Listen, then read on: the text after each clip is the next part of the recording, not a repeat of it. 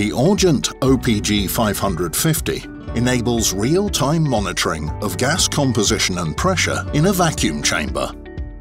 At the beginning, the chamber is pumped down and Augent detects nitrogen at a low pressure.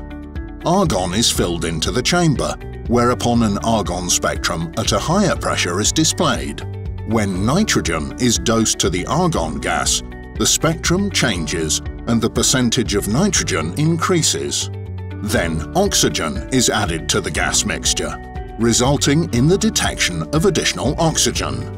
At the end, the system is pumped down and purged with NF3. The NF3 spectrum is measured, and the molecular components nitrogen and fluorine are detected, since the molecules are split up in the plasma generated in the sensor.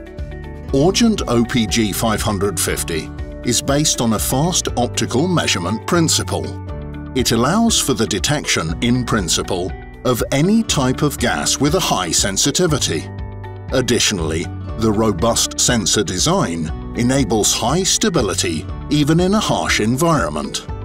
These features make Augent the optimal solution for real-time process monitoring.